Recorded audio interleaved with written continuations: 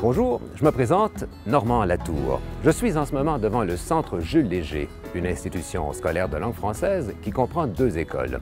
Je vous invite à visiter aujourd'hui l'école qui accueille les enfants et les adolescents ayant une surdité, une cécité ou une surdicécité. Elle offre également un volet résidentiel qui permet aux élèves de s'imprégner de leur culture et d'être entourés de gens avec qui ils peuvent communiquer. Nous allons d'abord voir l'école. Venez. Bonjour Gaétane. Bonjour, bienvenue au Centre Jules Léger. Merci beaucoup. Bonne journée. Une des particularités de cette école, c'est que plusieurs des membres du personnel ont aussi une surdité.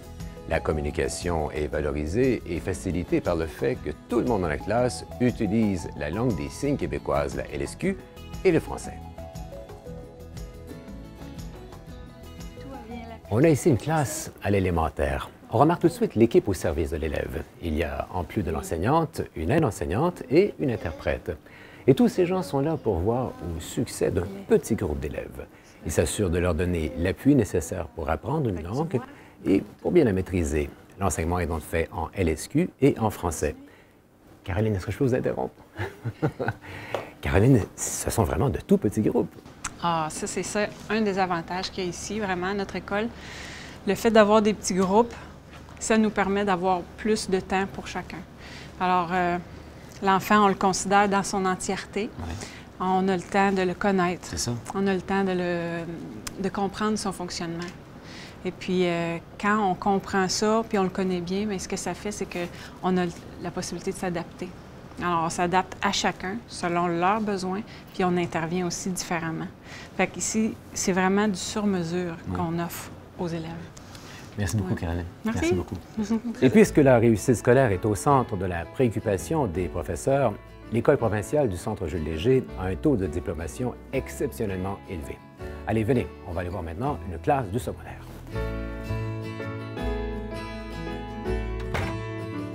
Pour obtenir leur diplôme, les élèves suivent le programme d'études prescrit par le ministère de l'Éducation de l'Ontario.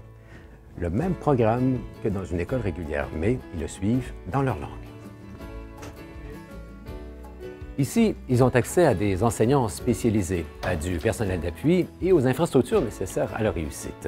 Et le fait de communiquer avec leurs enseignants leur donne accès aux connaissances dictées par les programmes du ministère. Les élèves n'ont plus à, s'efforcer pour comprendre ou se faire comprendre. Ils concentrent tous leurs efforts à la réussite. Le travail des élèves s'intègre donc dans une routine scolaire tout à fait normale. Aller à l'école devient gratifiant. On a vu toute une équipe en salle de classe pour aider les élèves à réussir. Mais il y a d'autres intervenants encore qui s'ajoutent à cette équipe pour s'assurer que les enfants reçoivent tous les services dont ils ont besoin et pour les préparer à s'intégrer dans la société à la fin de leurs études. Nous allons aller les voir. L'École provinciale offre des services d'orthophonie, de psychologie, de travail social et d'orientation. Il y a même une infirmière sur place. Tous ces gens sont facilement accessibles et travaillent ensemble pour faire en sorte de faciliter la transition de chaque enfant dans la communauté. L'esprit d'équipe que l'on voit ici, ben, on le retrouve aussi chez les élèves. Venez, je vais vous montrer.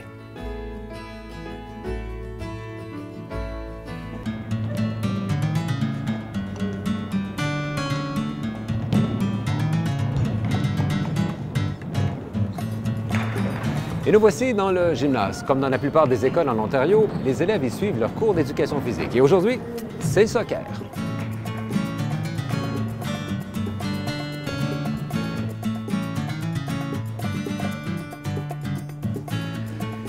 Le voici dans l'auditorium. C'est ici que se donnent les cours de théâtre, de danse. Les élèves y pratiquent l'art oratoire, récitent même de la poésie. La surdité ou la cécité n'empêche pas les arts et la communication. Ici, les enfants découvrent des activités auxquelles ils ne pensaient pas avoir accès, des activités qui les valorisent et qui contribuent à leur construction identitaire.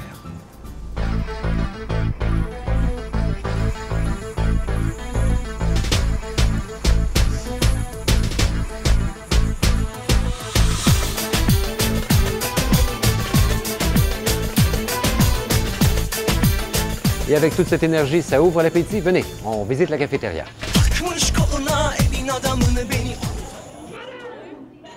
À la salle à manger du Centre Jules Léger, on mange bien. Les menus offerts sont variés et respectent le guide alimentaire canadien ainsi que le règlement 150. Merci beaucoup.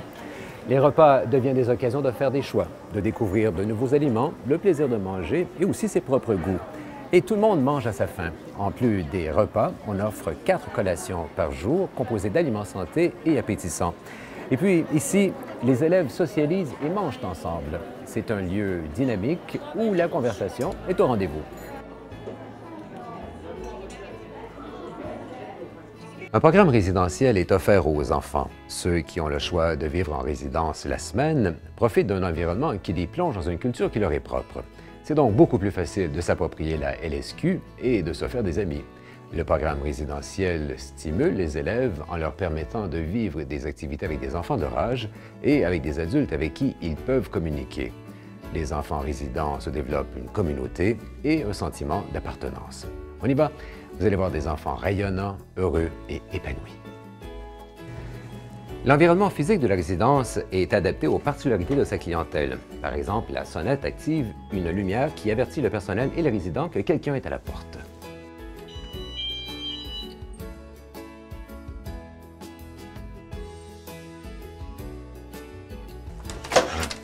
La résidence est un milieu de vie sécuritaire qui favorise la santé, le bien-être et le développement de l'autonomie des résidents. Elle respecte les normes résidentielles des écoles provinciales de l'Ontario. Par exemple, on a vu l'infirmière tout à l'heure, eh bien, voici l'infirmerie dans la résidence. L'espace est divisé de façon à créer un environnement différent. Les filles et les garçons ont des installations séparées. Ils peuvent circuler librement d'un côté comme de l'autre le jour, mais en soirée, les accès sont limités. Nous allons visiter le côté des garçons. Chaque enfant partage sa chambre avec un autre élève. Ils auront tous les deux la clé de la chambre et chacun a la clé de sa table de travail. C'est leur espace à eux, un endroit où ranger ses effets personnels.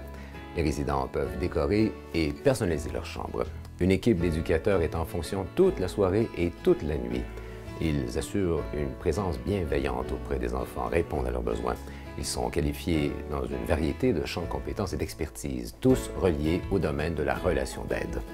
Et puisque chacun a également une surdité, ils comprennent très bien les enfants qui vivent ici. Je vous propose d'aller voir maintenant avec quoi ça a l'air du côté des filles. Merci Ryan. Cabrina est chanceuse cette année. Elle a une chambre pour elle toute seule. Bonjour Cabrina. Bonjour. On reconnaît hein, la même chambre. Il n'y a que la décoration qui change un peu, c'est tout. L'espace de vie est composé d'une salle de bain, de chambre et d'un salon cuisine. Cette pièce où les résidents se rassemblent est un environnement chaleureux où ils vont vivre comme en famille. Il y a le salon des filles et celui des garçons. Suivez-moi.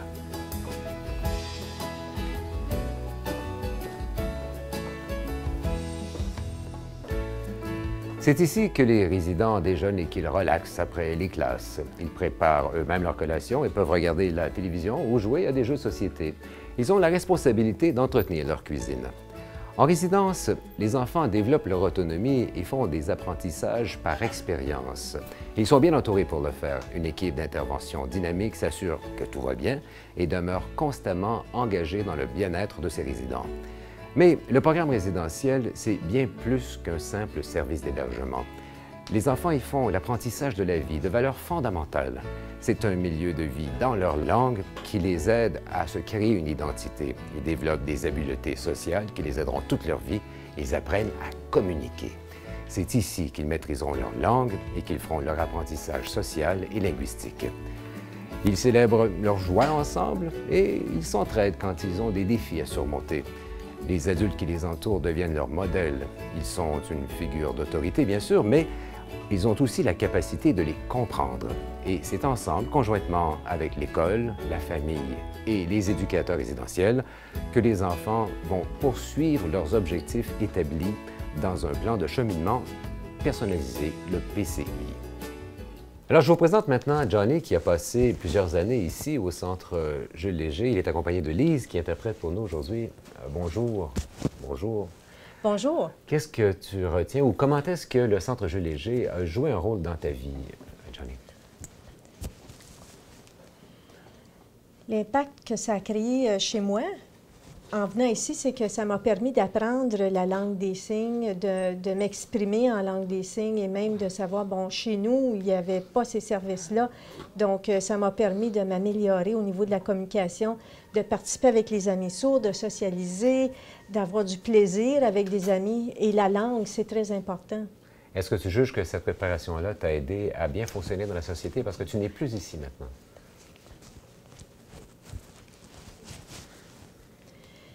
Oui, ici, ça m'a beaucoup aidé. Euh, au niveau de l'éducation, euh, on m'a permis de devenir plus autonome, euh, de faire des apprentissages au niveau de la, cuisine, une gamme de choses, des sorties.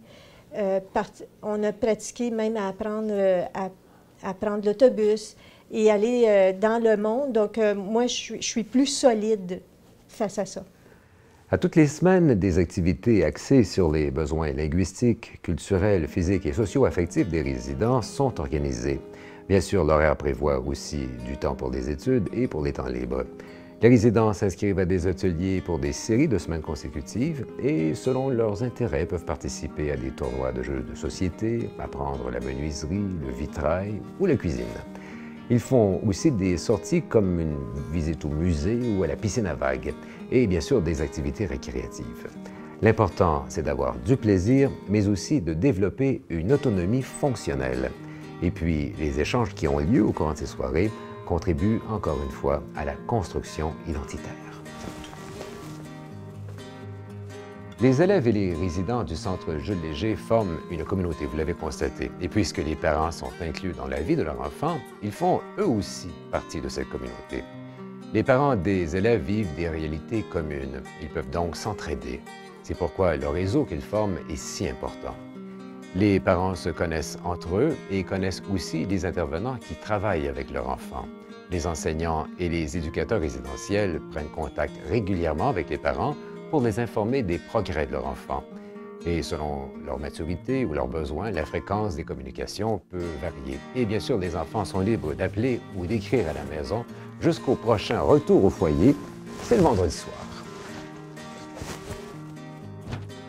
C'est donc dans un environnement sain et agréable que les élèves du Centre Jules Léger évoluent et grandissent en tant que personnes et apprenants avant tout. Je vous présente les parents de Marc Robinson. Marc a passé une dizaine d'années, dix ans en fait, euh, ici.